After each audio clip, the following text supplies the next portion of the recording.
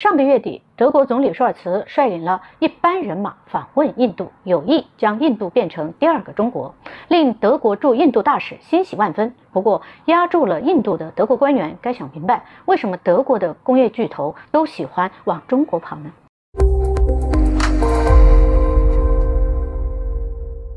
大家好，我是郭木禅，欢迎收看本期节目。日前，德国驻印度大使菲利普·阿克曼在接受采访时透露，德国可能很快就会在印度进行重大投资。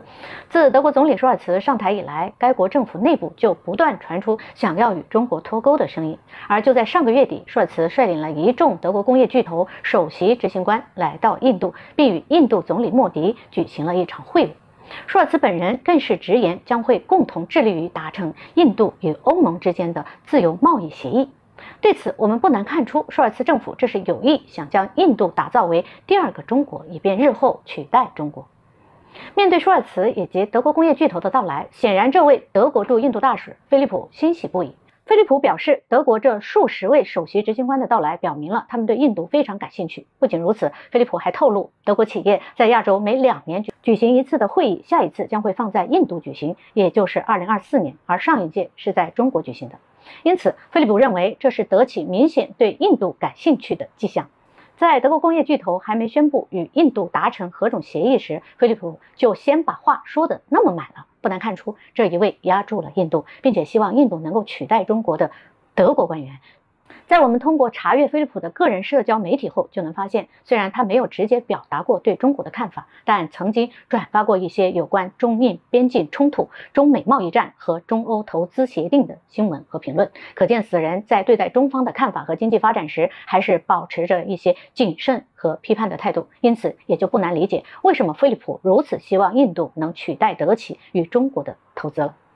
只不过，作为身在印度工作和生活的德国外交官，菲利普更应该懂得印度的经商环境以及印度与中国的差别才对。此前，德国企业为什么在中国跟印度之间选择了中国？菲利普心里难道没有数吗？首先，就拿德国引以为豪的汽车企业来说，为何德国一线汽车品牌宝马、奔驰、奥迪更偏爱中国市场呢？主要原因在于中国市场的汽车销量远远高于印度市场。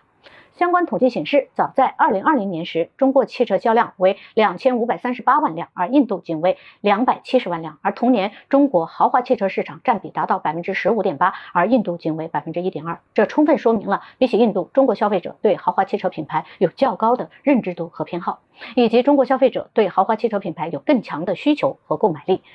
除去中国市场强大的购买力不说，中国跟印度的营商环境也大有不同。例如，二零一八年起，中国就取消了外资在乘用车合资企业中的股比限制，为外资汽车品牌提供了更多的自主权和灵活性。而印度政府则是对外资汽车品牌有较高的关税和税收，增加了其进入和运营的成本和难度。值得注意的是，这只是以汽车品牌举的例子，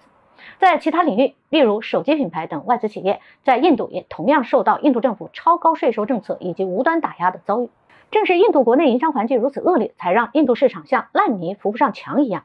按理来说，印度作为美国的盟友，本该比中国会有更好的西方投资的机会，而美国也会更加希望这些西方企业能够投资印度才对。但这些西方企业还是选择了中国而不是印度。实际上，舒尔茨此次的访印之行，德国商界并不看好，就连德国自家媒体《弗兰克福汇报》也直接表明，很多德国企业并不想投资印度，因为这个国家最可怕的就是关税太高以及官僚主义，他们会使得德国企业在印度投资时，不仅要面临着关税不统一、税费。太高的情况，还要面临手续繁琐、浪费时间的情况，因此在印度投资是一个很麻烦的事情。而更差的是，目前已经在印度建立生产基地的一些德国公司也抱有回避心理，认为印度所存在的壁垒太多，已经不想再继续投资了。